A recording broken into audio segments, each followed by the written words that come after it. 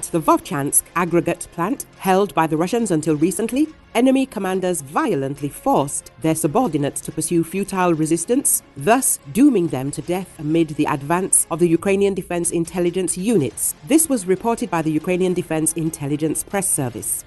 According to Ukrainian Defense Intelligence spokesman Andriy Chernyak, the mission to liberate the plant had been prepared for months, and the mission's ultimate success greatly contributed to the effectiveness of further actions by Ukraine's defense forces. This was critical for facilitating our logistics as much as possible, supporting of our forces located in the area.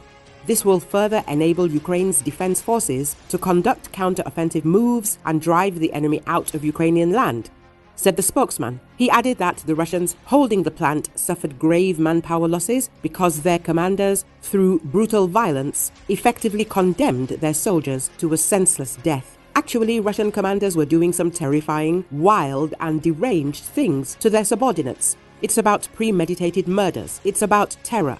This is another example where Russian soldiers have no rights, as they are not seen as human beings at all, Chernyak noted.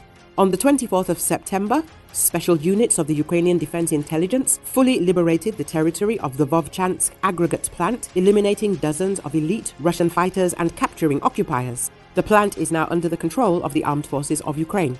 According to Ukrainian intelligence representative Andriy Yusov, preparation for the mission to liberate the plant took several weeks. Ukrainian military intelligence forces successful clearance of the factory building holds significant importance for future defense forces operations.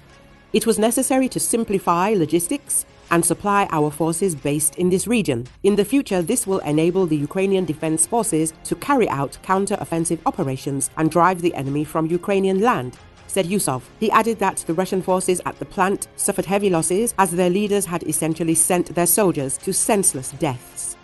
Truly horrific, wild, and bizarre things happened there, committed by Russian commanders against their subordinates, involving deliberate killings and terror. It's another example of how Russian soldiers have no rights and are not even regarded as human beings.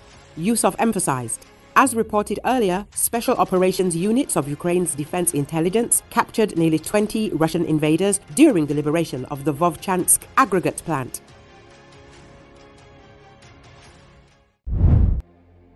Dozens of aircraft struck Houthi targets in Yemen on Sunday in response to a recent attack on Israel, according to the Israeli military.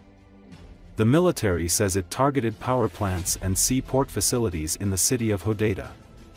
The Houthi media office said the Israeli strikes hit the Hodeidah and Ras Isa ports along with two power plants in Hodeidah city, which is a stronghold for the Iranian-backed rebels.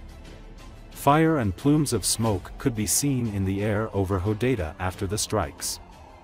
The group said it had taken precautionary measures and Israel's strikes would not stop Houthi attacks on shipping routes and on Israel. The Houthis launched a ballistic missile attack on Israel's Ben Gurion airport on Saturday as Prime Minister Benjamin Netanyahu was arriving on a flight from the United States.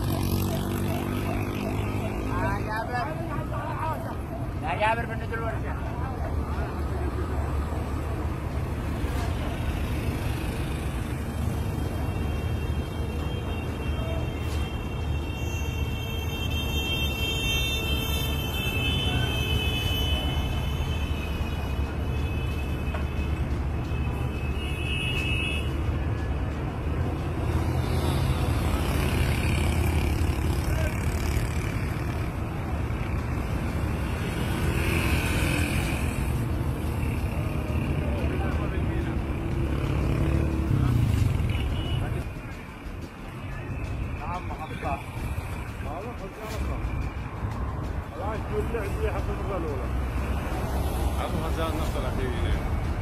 ها؟